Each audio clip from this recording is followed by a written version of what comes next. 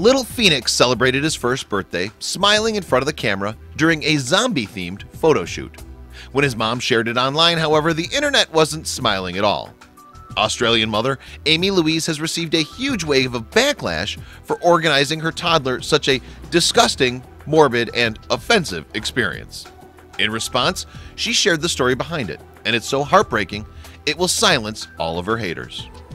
At first, Amy was removed from Facebook Moms group and was told she was a bad mother, and she was going to damage his mental health and would make him sick eating that cake off the dirt.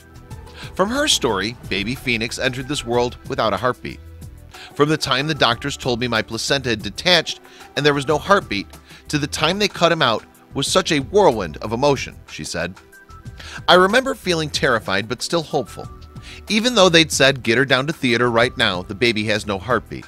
I thought this kind of stuff happens all the time, but when they took him out and there was no cry, my heart just sank.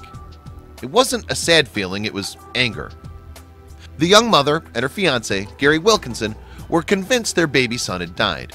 But not everyone lost hope. The doctor squeezed my hand to try and show his emotion, but it was a mess. It was awful. I just kept seeing this tiny white coffin flashing through my mind as I started to process what had just happened. Baby Phoenix proved to be a real fighter. He was brought back to life on October 31st, on Halloween. It was the longest and most awful 13 minutes of my life, Amy said. When I held him for the first time, the world disappeared. So what better than a zombie-themed cake smash for the tiny baby boy who was pronounced dead and then miraculously came back to life on Halloween, she wondered.